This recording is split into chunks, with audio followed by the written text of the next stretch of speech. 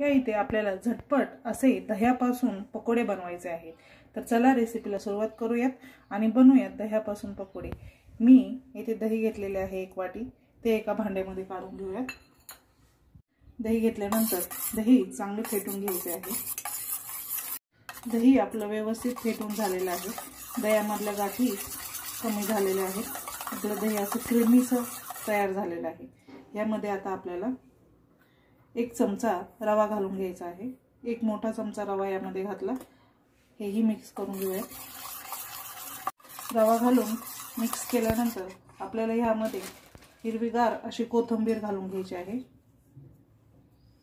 अद्रक थोडेसे किसून घालूयात अद्रक घातल्यानंतर मी इथे हिरवी मिरची बारीक अशी कापून घेतलेली आहे. एक हिरवी मिरची घेतली तीही घालून घेऊया. मीठ मीठ इथे अर्धा चमचा. आणि हळद अर्धा चमचा. त्याचबरोबर यामध्ये आपल्याला गव्हाचे पीठ किंवा मैदा घालायचा आहे. अर्धी वाटी आपण गव्हाचे पीठ किंवा मैदा यामध्ये घालणार आहोत.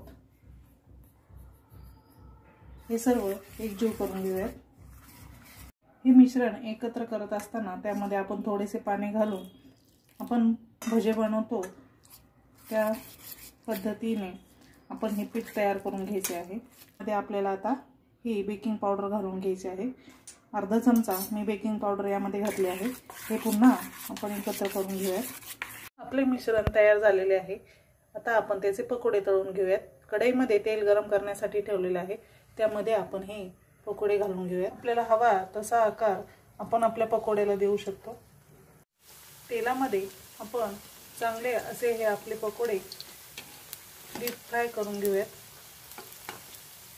पकोडे खालून ब्राऊन कलर येईपर्यंत फ्राय करून घ्यायचे आहे आणि ब्राऊन कलर आल्यानंतर ते आपण परतवून घेऊयात. इथे आता आपण हे परतवून घेऊयात.